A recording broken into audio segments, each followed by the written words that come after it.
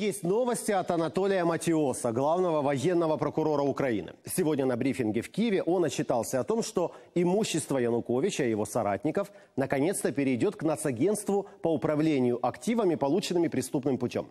Во-первых, речь идет о Межигорье. Сейчас этот дворцовый комплекс Януковича используется как выставочный центр, концертная площадка и парк для прогулок, которым управляют и на котором зарабатывают, в общем-то, случайные люди, не уполномоченные государством. Второе – это имущество экс-главы Минсдоха Клименко.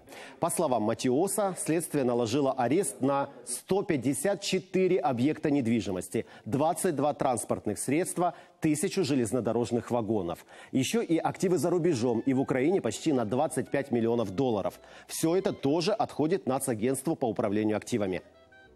154 об'єкти нерухомості здавалися в оренду е, з мінімальною вартістю оренди е, квартир, це 77 елітних квартир, від 1,5 до 2 тисяч доларів. На піввагони тисячу вагонів приносили Клименку помісячно від 500 до 600 тисяч доларів щомісяця.